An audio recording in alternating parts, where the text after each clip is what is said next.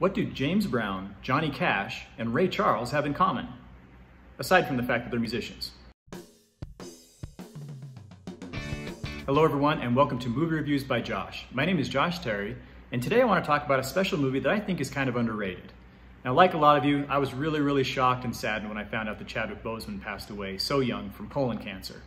Now, we've been thinking about his performances and all the great work that he did as an actor. We think about Jackie Robinson, you know, he played him in 42. And of course, we think about his performances as Black Panther in all the different Marvel movies. But one of the ones that I think is kind of underlooked and underappreciated is Get On Up, back in 2014 when he played James Brown. And James Brown is one of my all-time favorite musicians, and he's on a short list of people that I am so, so glad that I was able to see live in concert. I saw him in 2005, it was only about a year and a half later that he passed away. So Get On Up was a movie I was really, really excited to see. I didn't really know who Chadwick Boseman was at the time. I think he had been in a couple things, and I can't remember if I'd actually seen or, or reviewed them at the time. But I definitely knew who Chadwick Boseman was after I saw Get On Up. So again, this was a movie that came out in 2014. Tate Taylor was the director, and it's a biopic about the godfather of soul. And similar to a lot of other biopics that have been, you know, kind of big over the years, you know, uh, Ray was really big in I think 2004, uh, and then a, a, year or two later, uh, Walk the Line was about Johnny Cash. And of course, in recent years, we've had Rocket Man about Elton John, you know, and, we, and Bohemian Rhapsody, of course, is about Freddie Mercury. Get On Up doesn't get the same attention, at least from my perspective. And I think that's too bad because I think it's a really fantastic movie and an even more fantastic performance. So the life of James Brown is told kind of out of sequence. It's very, very kinetic, which I think is intentional because if you've seen or you know, if you've seen James Brown perform or if you've listened to his music, kinetic, spectacular, dramatic, off the wall, all those things describe it. It's, it's really, really something, and it's a lot of fun. And this movie tries to reflect that. Uh, there are some really, really you know, creative choices that are made, and of course, the chronology of the film, it doesn't just go through chronologically step by step. Eventually it kind of works into, into something like that, but it bounces around a lot. We see him as a child, then it fast forwards to when he's an adult. We see him as a teenager when he gets, gets arrested and goes to prison. We see him at the beginning of his career as he's starting out and he's, he's playing with the famous Flames. And Chadwick Boseman pretty much plays him from his, his late teen years until, you know, his, I think about his 60s. Um, when, and I think because I believe in his 70s is when, when James Brown actually died.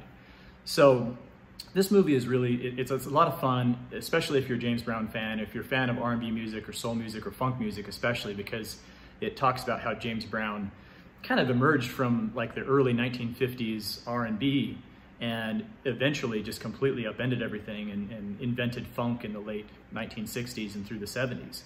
Um, so it's really, really fun if you have an interest and a, a passion and appreciation for that kind of music. But rewatching it the other night, the thing that really jumped out to me, uh, as I kind of expected because this is what I was looking for, was just what an incredible performance by Chadwick Boseman. Um, James Brown was an incredible entertainer and of course a, a revolutionary musician, but like a lot of famous superstar musicians, not always a great person. And the movie doesn't shy away from, you know, just like with in, in Ray and just like in, in Walk the Line, um, it's not afraid to show you uh, his weaknesses. Uh, I won't get into all the, the specifics, but what I thought was really, really impressive was that Boseman was able to really kind of capture the, the conflict in this character, in this person, uh, because you can sense the brilliance and the greatness and the enthusiasm, and you can see him as a tyrant. Uh, James Brown was, was notorious for finding his band members if they ever made mistakes during live performances and he was a taskmaster and he wasn't very interested in making friends. Um, but you also see those bits of his past that explain a little bit where that came from. And while it doesn't justify it, it gives you more context to kind of understand what's going on. And what I really appreciated was as you looked in Boseman's eyes and, and, frequently straight into them because he would break the fourth wall. That was one of the, the, the style choices is he would actually address the camera. And you could see that conflict and you could see that. And, and you could see that, you know, here's somebody who's who's a little bit crazy, you know, and James Brown definitely had a reputation for being a little bit crazy.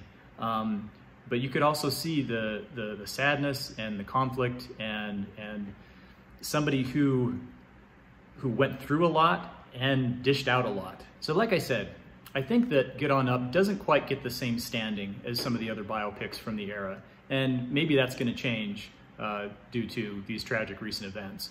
Um, but one thing I can say though is that even if the movie itself doesn't quite reach the status and the, the stratosphere of some of its peers, I absolutely have to give four stars to Chadwick Boseman's performance as James Brown in 2014's Get On Up. Now, Get On Up is rated PG-13, which is actually kind of surprising because James Brown lived a pretty R-rated life. And as a PG-13 goes, it is a little bit more on the rough side. Uh, there's there's sexual content, there's violence, there's profanity. Um, it never, it's it's more implied and it's it's it's more suggested than explicit. Hence the PG-13 rating. Um, so depending on kind of where you fall there, that that might guide your expectations a little bit. Now on my way out, I want to make a double recommendation here because I definitely want to recommend that you see Get On Up, but I also want you to check out Live at the Olympia in Paris, 1971, a live album by James Brown. This is the performance that actually takes place in the film a little bit later on. This is when uh, there were some changeovers in the band and some real incredible stuff. And the, the album is one of my all-time favorites. So remember when I got it, I just listened to it over and over and over and over again. It's one of those kind of albums. Uh, we see uh, footage from you know the, the live at the Apollo, which I think is much more famous in terms of a live James Brown show.